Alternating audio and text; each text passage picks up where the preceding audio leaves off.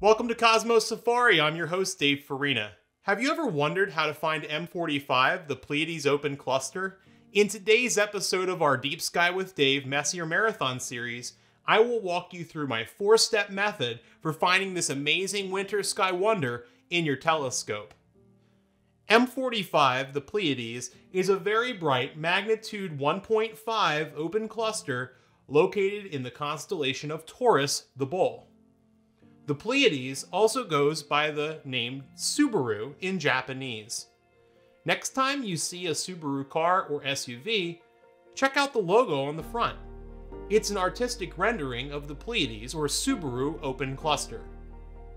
The brightness of M42 makes it one of the most easily accessible open clusters, even from light polluted skies. In fact, at an angular distance of approximately 2 degrees, M45 is easily seen with the naked eye. However, dark sky sites provide significantly better views of the surrounding nebulosity due to the high contrast between the dark sky and the brightness of the object. To find M45, first you will need to have a basic understanding of the night sky. I suggest using tools, such as the Sky Safari app on your cell phone or on a tablet. In today's video, I will be using Starry Night 8 Pro, a desktop software, to help guide you through finding this object. Starry Night also provides their Live Sky feature that provides you with a link between your desktop software and your phone or tablet, which is running Sky Safari. This makes planning a breeze. I'll provide you with links in the description below for each of these software tools. Step 1 find a starting asterism or constellation. At my location in the northeast US, we will start our observation by locating the constellation of Orion as it rises in the southeastern sky just after midnight by mid October, and as early as 6 p.m. by the month of January. Orion is easily located as it is one of the sky's brightest constellations and is home to a number of deep sky objects. Step 2. Find the object using star hopping. Within Orion, three bright stars make up its belt. Alnitak, Alnilam, and Mintaka. Using a Telrad or red dot sight in your telescope or with a pair of binoculars, follow along the belt, starting at the bottom star, Alnitak, and trace an imaginary long line along the belt towards and past the top star, Mintaka, towards the constellation of Taurus. On our way through Taurus, we will locate a bonus deep sky wonder. The Hyades is a very bright magnitude 0.90 open cluster on our way towards M45. The Hyades is extremely large at an angular size of 5.5 degrees, which is approximately the width of three fingers at arm's length. This large angular size is the result of the fact that it is one of the closest open clusters to the Sun at only 153 light years away. The Hyades is best viewed in a pair of 10 by 50 binoculars or in a very wide field eyepiece on a very short focal length telescope, such as a small refractor. If you don't have either of these, or if you just want to view it for a few seconds, I would consider simply using your magnified finder scope to get a closer look before moving on to M45. Continue past the Hyades towards the next bright patch of stars in the sky. You've now located the seven sisters of the Pleiades. Step 3. Move your eye to your magnified finder. Once you've roughly centered the scope, I move my magnified finder scope. Even in light polluted skies, M45 should be visible in a 40 to 50 millimeter finder scope without any issues. Center M45 in your finder scope. Step 4.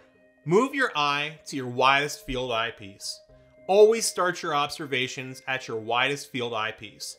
For this simulation, I've chosen the very wide field Nagler 26 on my JMI 12.5 Newtonian telescope.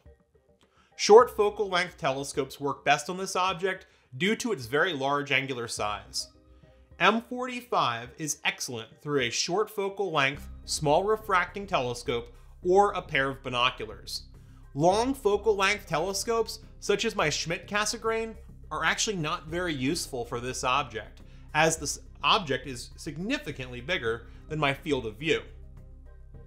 One of the common misconceptions of many people just getting into observational astronomy is that they think the most important part of a telescope is the ability to magnify an image, when in reality, magnification is simply one of these important factors. It's one of them. Other factors include light gathering power and resolving power, and those two are significantly more important. Light gathering power is the ability for a telescope to collect or to gather light. I liken this to leaving a drinking glass and a 5 gallon bucket out in a rainstorm. Which one of these would collect more water? Of course, the answer is the 5 gallon bucket because it has a bigger opening. Telescopes are similar in this way, except that they gather light or photons rather than rainwater. Pro tip don't collect rainwater in your telescope. Resolving power is the ability to separate light sources, for example, two stars, from each other in your telescope. The larger the telescope's opening or aperture, the better its resolving power. This is similar to the resolution values that we place on video, such as in TVs. The higher the resolution of a TV, as we go from standard definition to HD, and then HD to 4K and beyond, the more detail that we are able to see in our TV shows and movies. As a result of these two main powers of a telescope, astronomers oftentimes use very large aperture telescopes to increase the resolution of their observations. However, within the Earth's atmosphere, atmospheric conditions, known as seeing, are a major limiting factor. Only with very special instruments called adaptive optics can professional astronomers improve their observations by going to these very large telescopes. But that will have to wait until a future video. Thank you so much for watching today's episode of Deep Sky with Dave. This is part of my Messier Marathon series of videos, in which I plan to go through all 110 Messier objects. If you find this video helpful, please consider liking this video and subscribing to the channel. And click the notification bell if you want to find out each time I upload a new video. If you have a different method for finding M45, want to provide me feedback on the video, have suggestions or requests for future videos, or if you have any other questions regarding my star hopping techniques, observational astronomy, telescopes, astrophotography, spaceflight, or space exploration, please leave them in the comments below. Thank you very much from Dave Farina here at Cosmos Safari. Clear skies.